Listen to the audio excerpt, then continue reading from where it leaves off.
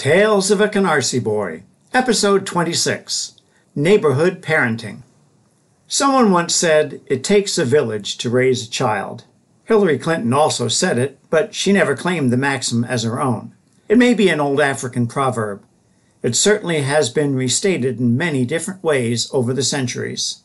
Oddly, when Ms. Clinton first said it, a lot of people got their feathers ruffled. Something about her denigrating parents, I think.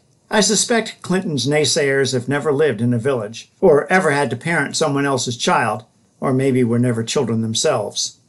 I've visited the kind of villages in Africa that originate proverbs like the one about raising children. In them, for better or worse, children are community property. They play in public spaces, but many of those spaces are public simply because children play there. Somewhere there exists a title to that space, and it's in some grown up's name but kids share it as if it belonged only to them, all of them. I grew up in a village. True, it was part of a zip code of nearly 100,000 people, which was part of a borough of 4 million in a city of 8 million, but the extended block on which the Baisleys lived was a village.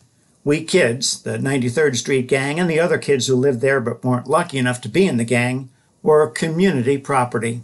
This sense of community parenting showed itself in small ways and in big ways. Like most city neighborhoods of the 1950s and 60s, kids roamed Canarsie streets freely. The first one out in the morning, at least on Saturdays and in the summer, would run to the next one's house and see if they were up yet. Typically, on those mornings or late afternoons during the school year, you'd hear the cry, Can Joey, or Kurt or Judy, come out and play? Usually they could, unless they'd been recently grounded for misbehavior. Playdates were still in their inventor's mind. Our parents never made appointments for us except for pediatricians and dentists, and those were things we hated. Play was spontaneous wherever and whenever kids happened to be. Where parents got involved, usually, was once the children settled into someone's house. Then it was my house, my rules. No one ever had qualms about disciplining someone else's child for misbehavior. Believe me, we feared other parents way more than we feared our own. For me, community parenting was most effective at meal times. True, most times the command from mom was be home for dinner. That meant 5:50 p.m. when Pop got home from his office. Sometimes, however, an invitation from a mother such as Mrs. Robbins superseded mom's command. Lucille and Ken Robbins were Scott's parents. Scott was Jewish and therefore not part of the gang, but he lived on the block and he was my friend, at times my best friend. It was with him that I made the daily trek home from Isaac Bildersee Junior High School every day. You know, the ones that were 10 miles uphill? Okay, they were 10 and a half blocks, and only the half was a long block, but it was far for a kid. Those walks home seemed longer when you had to go to the bathroom. I always had to go to the bathroom after school. Public school restrooms were for A. Smoking, B. Dealing in contraband, or C. Getting beat up. I avoided them as if my life depended on it, which I believed it did. So Scott and I would walk those blocks as fast as possible, talking all the way to keep our minds off our bladders. Thanks to Mrs. Robbins, I had the joys of Jewish mothering. While I was in her home, I followed her rules. No flopping onto furniture, no entering rooms other than the living room, kitchen, or bathroom, and take your shoes off before entering. Never had a problem with Mrs. Robbins' rules, not even the one about eating everything on your plate. I was a picky eater at home, according to Mom. I liked to keep my meat, potatoes, and vegetables separated. Meat not touching potatoes, and vegetables not touching the plate. I might have suffered through green beans. I especially liked them raw as I'd walk through the grocery store with Mom. She'd always tell the clerk how many I'd eaten so they could estimate the cost of goods devoured. I liked corn, but that's not really a vegetable, is it? Same thing with tomatoes. Every other green or veggie like thing was against my principles, except in Mrs. Robbins' domain. Scott's mom could get me to eat anything. Broccoli? Yes, ma'am, I like broccoli. Cauliflower? Sure thing. Brussels sprouts? Well, I don't really like them, but why not? Eventually, mothers talking the way they do, mom found out what I was eating. My life changed that day. For the few years we lived in Oregon in the late 1990s, my first wife, Sandy, got to be that kind of mother. Though not rigidly at 5:50, most nights we all ate together, she and I and our children, Stephen and Kellen. That was such an oddity in 90s suburbia that our kids' friends used to wrangle invitations to dinner just to eat with the whole family.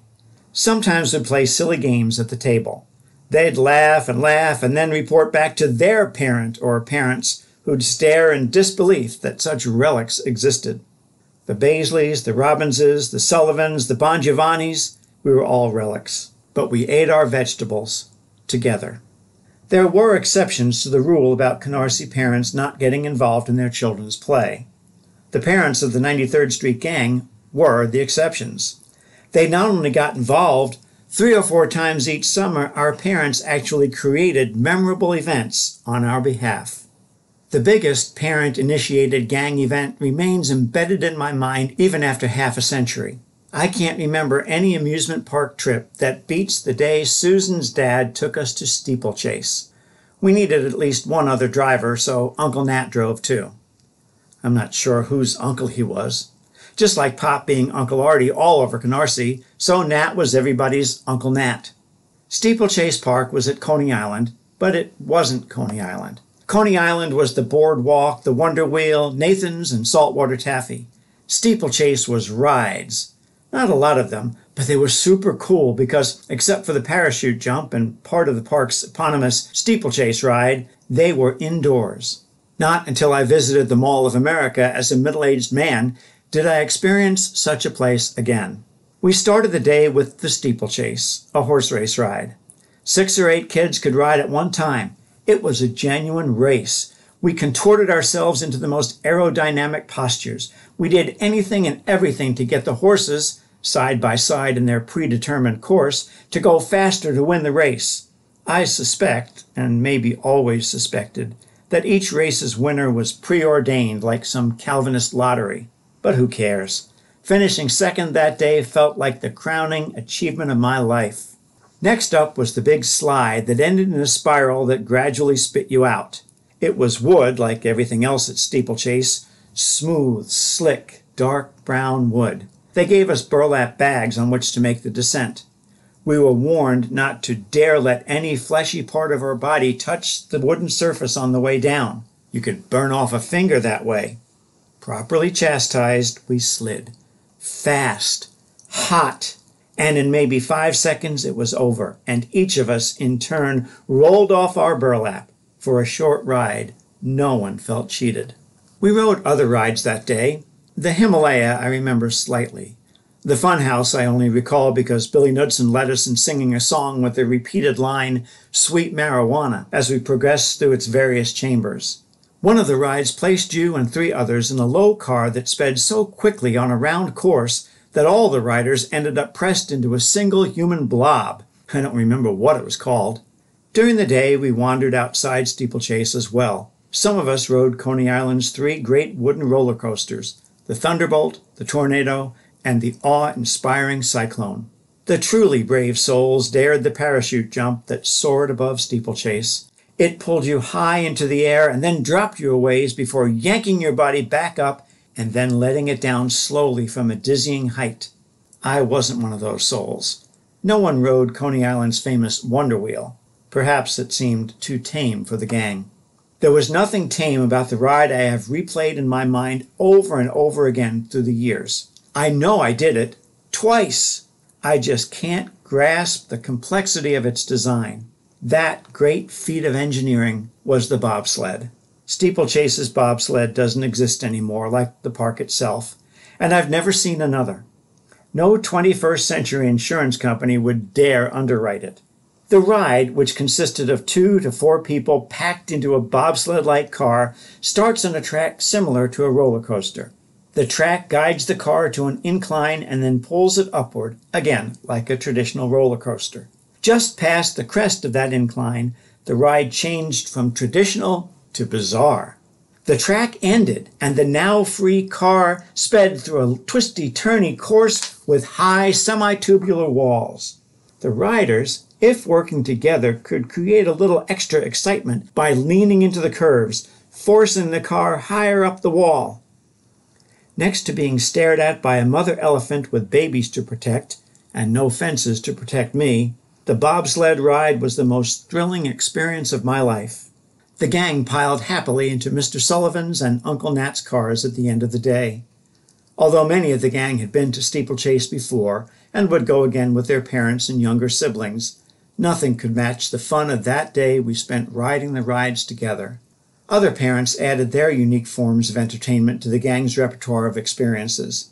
Billy Knutson's dad owned a boat. I'm not talking rowboat here. A lot of our dads or uncles had those. Mr. Knutson's was a cabin cruiser with a swimming deck in the stern. We earned our sunburns the day he took us out in the bay. Mom and Pop couldn't afford a cabin cruiser or a trip to steeplechase, but what they lacked in quality, they more than made up in quantity. During the summer months, a community band gave weekly concerts in the park behind the school administration building in Valley Stream, Long Island. The audience would bring folding lawn chairs and place them on a big macadam square in front of the spacious bandstand. Other spectators spread blankets on the grass around the pavement. Mom and Pop loved what they called the concert. They made it out to Valley Stream as often as they could, and most of those times they filled the station wagon with members of the 93rd Street Gang. Gang members weren't really thrilled about the style of music. It was mostly stuff for old people, 30 and up. We did occasionally join in the sing alongs. That was where the band played the kind of songs our parents sang around Grandma's piano on Saturday nights. Things like By the Light of the Silvery Moon, with sound effects, and everyone was supposed to sing along. And they did. That's why the generation raised on the Beatles and the Stones can still sing Let Me Call You Sweetheart. We never sat with Mom and Pop at the concerts. We'd walk to the outer edge of the park and sit on or by the bridge that crossed a little creek. It was darker there, for making out if you had a significant other. You could hear the music if you wished to listen, but it was quiet enough for conversation. I loved Tuesday nights in Valley Stream and the laughter and, yes, singing on the trip home. Seven kids and two parents. That's not helicopter parenting, unless the chopper is a Huey that drops you off, lets you do your job, and returns to get you out of trouble. I appreciated the gang's moms and dads for thinking of us without trying to become us or curtailing our kid like ways. The closest thing to neighborhood parenting I've experienced in the past quarter century occurred when the church we were attending in Newberg, Oregon decided to start its own youth group. This was a big deal because during the five years of its existence, its youth remained part of the founding church's youth group. By now, the church had grown to well over 150 people in each of two Sunday services in its rented building. The kids themselves, most of them anyway, were clamoring for their own group. The pastor, wisely, called a meeting of all interested kids along with their parents. From its very beginning, this group was to be a collaboration between kids and parents. We all learned a lot at that first meeting. For starters, we learned there were too many kids for just one group. We also learned that high school kids have different needs and expectations than middle school kids. We made a decision to meet again soon in two groups, but that both youth group design teams would include kids and parents. My son, Stephen, was a founding member of the senior high group, and I was a founding parent. Once the group got going, the kids generally planned the meetings and chose the events. We parents were there for support and occasional guidance, but not to run the show. Still, the kids liked having us around. I enjoyed the friendship forged with church members I hadn't met before. The two youth groups were so successful that within a few months the church hired a youth pastor to oversee them. He did not run the senior high group. The kids did. His daughter was in the group, but when he showed up, it was as her father, not as the boss. A lot of trust developed in those teenagers trust in each other and trust in their parents and the other kids' parents. We had a lot of fun doing things together, like our improv nights based on the Whose Line Is It Anyway comedy show popular on TV. In the more serious moments, the high school kids felt free to ask real questions about faith and life. The group even founded a puppet ministry for the church's children, complete with puppeteers, musicians, and sound and light techs, all under 18. As they neared the end of Stephen's final year with the group, I learned that neighborhood parenting was still alive and well if we allow it to be.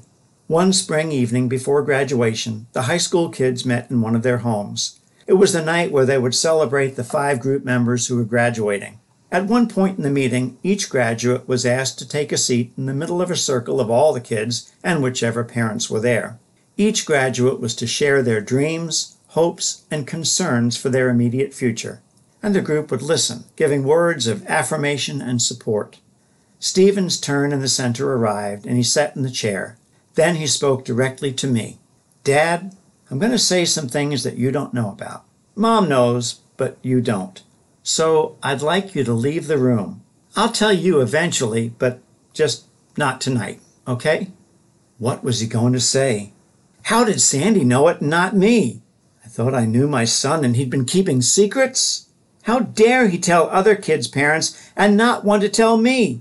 How dare he ask me to leave the room? But he did, and I did.